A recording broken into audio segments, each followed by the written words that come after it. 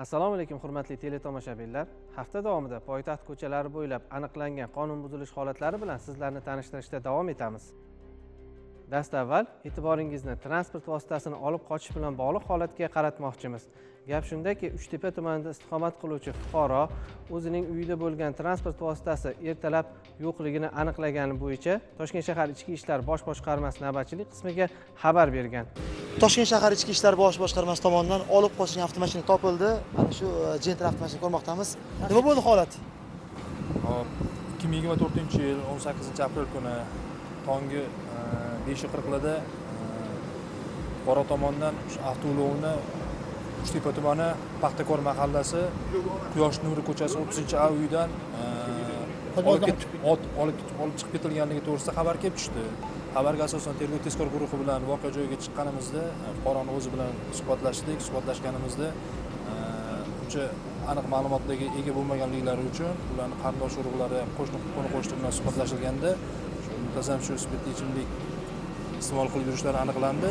Kelib tushgan murojaatga asosan zudlik bilan voqea joyiga uchtepa tumani ichki ishlar organlari faoliyatini muvofiqlashtirish boshqarmasi tezkor tergov guruhi yetib bordi va holatga oydinlik kiritdi. Holatga oydinlik kiritilganda voqea umuman boshqacha tus oldi. Tezkor qidiruv ishlarini amalga oshirish maqsadida shu yaqin atrofdagi spirtli ichimlik sotiluvchi do'konlarni atrofini qidirish maqsadida chiqqanimizda uchtepa tumani e, mannoni uyg'ur ko'chasi yoqasida joylashgan spirtli ichimliklar do'konini yonidan avtomashina topildi. Hop, shu yaqin atrofdagi video kuzatuv kameralari ko'zdan kechirilganda 2024 yil 17 aprel kuni 14:00 atrofida o'zlari boshqarib kelib mahallani ichidan chiqib kelib boshqarib kelib o'sha yerga qo'yib o'zlari keyin spirtli ichimlik do'koniga kirib o'sha spirtli ichimlik olib yo'lni narigi tarafiga ya'ni piyoda yurib ketganliklari aniqlandi. Hozir ahvolingiz qanaqa? Yaxshi. Kecha bayram qildingizmi ozgina ha. O'sha man bittan bitta aroq oluvdim bir litr. Men shuni yarmini ichuvdim yarmi turibdi. Hammasini bitta o'zida ichdingizmi yo bu kim bilanmi? Bitta o'zim. Moshina o'zida olib chiqib ketmagan kalta ochib olib chiqib ketgan. Cho'ntagida bo'lganda kalit uxlagansiz to'g'rimi? Tushgandan keyin kafega kirishdan oldin uxlagansiz oldim. Aha. telefon oldim edim. avtomashinani kaliti uylarda o'zlarida bo'lgan. Mhm. undan tashqari xonadon kalitlari ham hammasi uylarda uy o'shani Ha, oilasi oldin topildi. Ichadigan bo'lsangiz moshinani umuman haydamang uyda qolsin. deydi hozir mana ko'rdingiz e, sizni e, bitta bir yuz ikki raqamiga avtomashina to'g'rimi olib qochildi deb bergan xabaringiz bo'yicha butun toshkent shahar miqyosida hamma ichki ishlar xodimlari E, ming rahmat sizlarga. ming rahmat harakat qilishib topishdi mana. Man shunga xursandman mazkur holat yuzasidan hozirda dastlabki surishtiruv ishlari olib borilmoqda.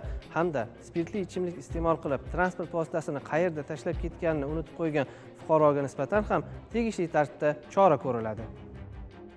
Hafta davomida poytaxt ko'chalari bo'ylab olib borilgan xizmat jarayonida 19596 ta qoidabuzarliklar aniqlangan bo'lsa shulardan 8596 tasi qo'pol qoidabuzarliklar hisoblanadi. Jumladan mast holda transport vositasini boshqarish 50 ta uyali aloqa vositasidan foydalanish 130 ta svetofor talablariga rioya qilmaslik 99 ta odam tashish qoidalarini buzish 397 ta quvib o'tish qoidalarini buzish 138 ta xavfli holat sodir qilganlik 20 ta tegishli hujjatlarsiz transport vositasini boshqarish 113 ta tusi o'zgartirilgan oynalar o'rnatib harakatlanish 18 ta ichki ishlar organlari xodimlarining qonuniy talablariga bo'ysunmaslik 12 tani tashkil etgan bo'lsa 3919 to'qqizta qoidabuzar piyodalarga nisbatan ham ma'muriy bayonnomalar rasmiylashtirilgan.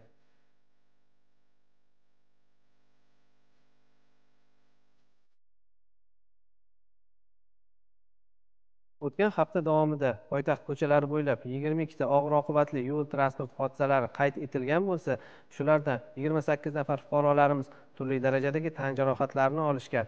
Ming afsuski ikki nafar fuqaroimiz bevaqt olamdan ko'z yumgan. Joriy yilning 12 aprel kuni yunusobod tumani 8 mavzesi 22 uy qarshisida cobalt hamda piyoda o'rtasida yo'l transport hodisasi sodir etilganligi bo'yicha toshkent shahar ichki ishlar bosh boshqarmasi navbatchilik qismiga xabar kelib tushdi. Xabarga asosan voqea joyiga zudlik bilan toshkent shahar ichki ishlar bosh boshqarmasi yo'l harakati xavfsizligi boshqarmasi mas'ul xodimlari yetib borishdi va holatga oydinlik kiritishdi. O'n ikkinchi aprel ikki ming yigirma to'rtinchi yil soat 21:30larda yunusobod tumani 8-mavzesi yigirma ikkinchi uyni oldidan cobalt rusumli transport vositasi e, yigirma ikkinchi uyni oldidan kelayotgan vaqtda shu uyni oldida joylashgan piyodalar yo'lakchasida piyodani urib yuborgan natijada piyoda olingan tan jarohatlari natijasida voqea joyida vafot etgan.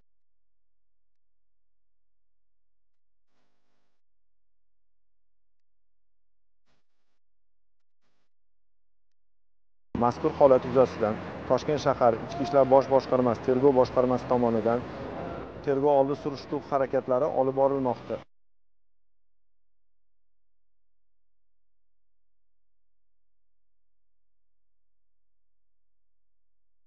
Voqea sodir bo'lgan joyda yo'l infratuzilmasiga ahamiyat berilganda yo'llarimiz tekis sun'iy yoritilgan shuningdek piyodalar yo'lakchasi chizilgan va e, svetofor soz holatda hurmatli fuqarolar va transport vositasining haydovchilari poytaxtimizda yo'l harakati qoidalariga amal qilishingizni so'rayman. Mazkur holat yuzasidan toshkent shahar ichki ishlar bosh boshqarmasi tergov boshqarmasi tomonidan o'zbekiston respublikasi jinoyat kodeksining ikki yuz oltmish oltinchi moddasi ikkinchi qismi bilan jinoyat ishi qo'zg'atilib hozirgi kunda tergov harakatlariga kirishilgan.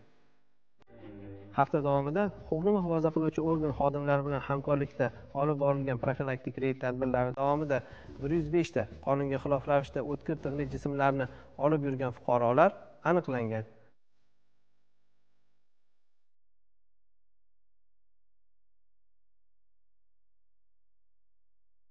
Bundan tashqari turli jinoyatlarni sodir etib huquqni muhofaza qiluvchi organ xodimlaridan yashirinib yurgan ikki nafar fuqaro ham toshkent shahar hududida aniqlangan.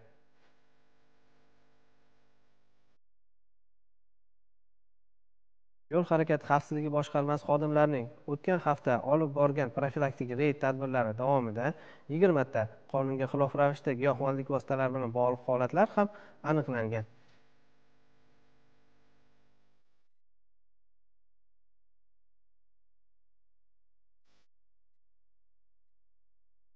Joriy yilning o'n oltinchi aprel kuni erkin yo'l patrul xizmati maskanida toshkent shahriga toshkent viloyatidan kirib kelayotgan cobalt rusumli transport vositasi to'xtatib hujjatlari ko'zdan kechiriladi.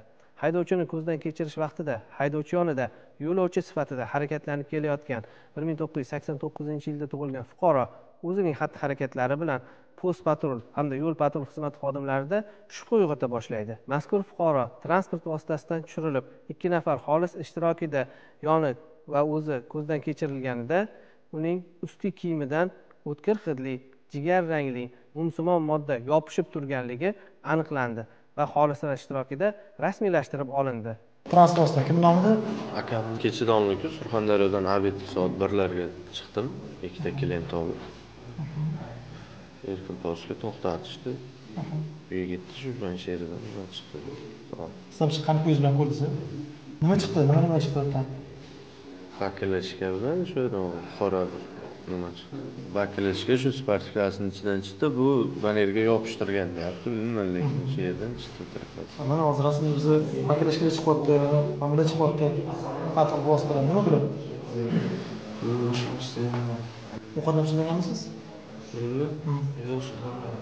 nima ish bilan shug'ullanasiz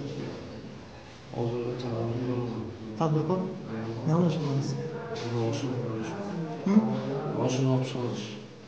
ushbu fuqaro yonidan aniqlangan moddalar daliliy ashyo sifatida olinib qonuniy chora ko'rish uchun chilonzor tumani ichki ishlar organlari faoliyatini muvofiqlashtirish boshqarmasiga olib borib topshirildi xabaringiz bor? Poytaxtimiz ko'chalari bo'ylab profilaktik reyd tadbirlari davom etib kelmoqda.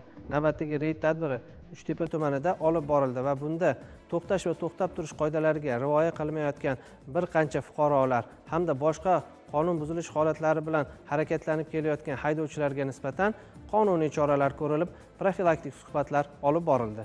Bahor mana yoz oylari yaqinlashib kunlar isish mobaynida qurilish boshlanyapti hamma yo'l qatnov qismiga noqonuniy yuk mashinalarini kelib joylashuv va bu bilan birga e, yo'l transport hodisalarini kelib chiqishiga e, sababchi bo'lyaptida bular hozirgi kunda. Ko'chalarimiz o'zi e, serqatnov transport vositalarining oqimi juda katta. Bir sig'may borayotgan bir vaqtni o'zida bular kelib bitta ikkita polosalarni egallab bu bilan birga sun'iy tirbandlik bo'lyapti uchtepa chilonzor tumani bo'yicha toshkent halqa avtomobil aylanma yo'llari. Birma bir nazoratda yo'l patrul xizmati xodimlarining nazoratida. Hozir hamkor xizmatlar bilan birga hamkorlikda xizmat tashkillashtirib noqonuniy savdo noqonuniy har xil yo'l transport hodisalarini oldini bog'liq bo'lgan barcha yo'l inshootlariga xalaqit berayotgan barcha jismlarni birgalashib olib shu shularga chora ko'rish tadbirlarini olib boryapmiz. Toshkent shahrining uchtepa tumanida e, mana noqonuniy parkovka o'rnatib olgan zid avtoulovini hozir aniqlashimiz bo'yicha yo'l harakati qoidasi to'qson birinchi bandiga asosan to'xtash va to'xtab turish qoidalarini buzganlik uchun ya'ni mana uch yuz yigirma yetti belgi qo'yilib o'rnatilgan taqdirda ham mana shu kelib noqonuniy parkovka o'rnatib olganlar uchun chora ko'rilmoqda. Bularga necha marta ogohlantirish berilganiga qaramasdan baribir mana o'z boshimchalik bilan noqonuniy parkovka o'rnatildi. Bizga nisbatan ma'muriyatnoma rasmiylashtirdik imzo chekorasiz hozir jarimasini o'z vaqtida to'lab turasiz agar qonunni joyiga qo'ymasangiz aka baraka bo'lmaydi unda birinchi o'rinda qonun qonun ustuvor bilasiz hujjatlaringizni taqdim etib ho'p tushundim. Man tadbirkorlik faoliyatingizga ho'p ho'pdagi tadbirkorlik faoliyatingizga man qarshiligim yo'q. Faqat qonun bilan bir xil ishlang birov so'kib o'tyapti birov qarg'ab o'tyapti yo'lni to'sib qo'ygansan boshqa qilgansan deyapti. Odamlar fuqarolar o'tadi kalaskalarda yuradi kelinglar bilasizu mana shu joyda qattiq o'tolmayapti odamlar. O'tolmayapti. O'tolmagandan keyin kim nima deydi? Keyin man mana shu katta mashina mana qo'yib qo'yganini qarang yurishga joy yo'q mandirdi hamma so'kib o'tadi. Shuncha qarg'ishdan ko'rgan ko'rgandan keyin bir alohida bir parkovkalarga olib kirib qo'yib sotsangiz bo'ladi qilib berilyapti. O'n to'rtta joy ajratilgan shahar bo'yicha shahar bo'yicha. Oldingi biz biz bozorni keyin o'zimizni bizdan bizdan yuqori turuvchi o'rni mana masalan tadbirkormanda mana hozir qayerqa borib sotishim kerak narsamni seximdan ketayotgani yo'q masalan alohida joylar bor aka qilinyapti mana ibn sinoda endi ko'rdim qilinyapti o'sha narsa Ibn qarang Sinoda- o'sha Hop, narsa qilingandan keyin Hop, hop. keyin manimki kelib anaqa qilsa bo'ladi mana shu qo'ygandan keyin chora ko'ryapsa bo'ladi. Shu narsa yo'q mana oldin urdinglar to'g'rimi tundalmadi to'g'rimi endi znak o'rnatildi. Demak bu уже основной bu уже qonuniy yo'q. Qo'yish mumkin emas deyilyaptida siz baribir shu hozir shu narsa narsaga qayerqa olib qo'yishimiz kerak hop shu narsani Man aytyapman narsani qayerqa olib sotishim kerak hop masalan man sizga aytyapman shu narsani. man sizga aytyapman ibn sinoda ko'rdim. Alohida joy qilingan misol kirib ichkarida mana mana bizdada ham bor qilingan Misol joy. Uchun. haydovchi shu yigirma yetti yo'l belgisi qarshi rostida turib hujjatlarni tekshirish jarayonida transport texnik ko'rikdan mavsumga texnik o'tmaganligi aniqlandi. Hozir shunga yo'l belgi bilan texnik ko'rikka chora ko'riladi. Harakat davomida uyali aloqa vositasidan foydalanib kelyaptilar mumkinmi foydalanish? Harakat davomida uyali aloqa vositasidan foydalanish mumkin emas. Shunga chora ko'riladi? Qo'llar orqali foydalanish mumkin emas. Holat yuzasidan ma'muriy bayonnoma rasmiylashtiriladi?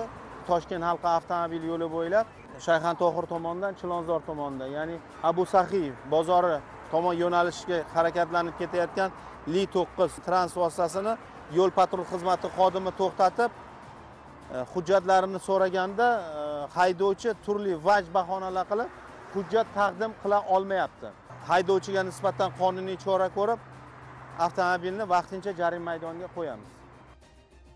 Tasvirlarda ko'rganingiz kabi hafta davomida yo'l harakati xavfsizligi boshqarmasi xodimlari tomonidan bir qancha qonun buzilish holatlari aniqlangan va barchasiga qonuniy choralar ko'rilgan.